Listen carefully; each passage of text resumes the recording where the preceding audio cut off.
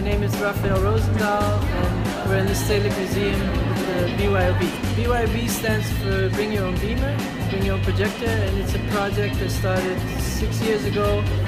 And the idea is that you find a space, invite many artists, and ask them to bring their projector. And so we make a one-night exhibition. Everybody just shows whatever they want, and uh, we have a very lively event.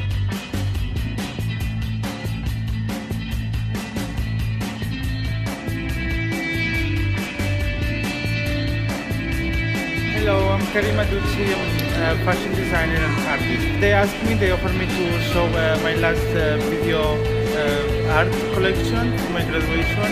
And now it's shown here and it's a video art made between Amsterdam and Morocco.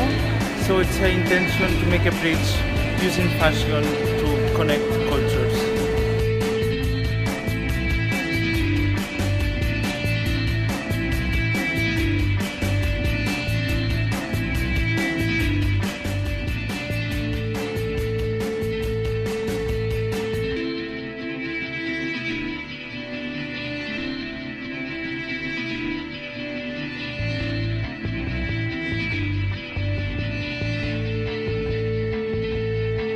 Living in Berlin and all my friends owned projectors and all my friends were making moving images. So I thought if we just do it for one night instead of a one month exhibition and everybody brings their own gear, then we can set it up in five minutes. I think the biggest surprise for me was how much fun it was. Everybody was like, oh, this is so much fun, we should do this all the time.